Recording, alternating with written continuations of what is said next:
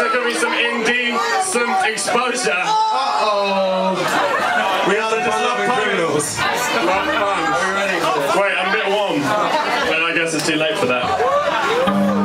Do you want to introduce our Seriously, if it doesn't kick off in here, I'm never talking to any of you again. Especially that guy. I'd like to introduce um. David Hynes, whose album Under the Moniker Lightspeed Champion comes out this week. I haven't heard it, but apparently it's a great record. Uh, Old Eagle Lineman, Victoria Smith from uh, Vincent. not often I meet a 9 out of 10 artist. There's a couple of 7 out of 10s in the audience. But uh, I can't tell if I'm being heckled or not, which is a good sign. That was a heckle. In that case, my good friend Florence and the Machine. Okay, okay, we're gonna start a pie off now.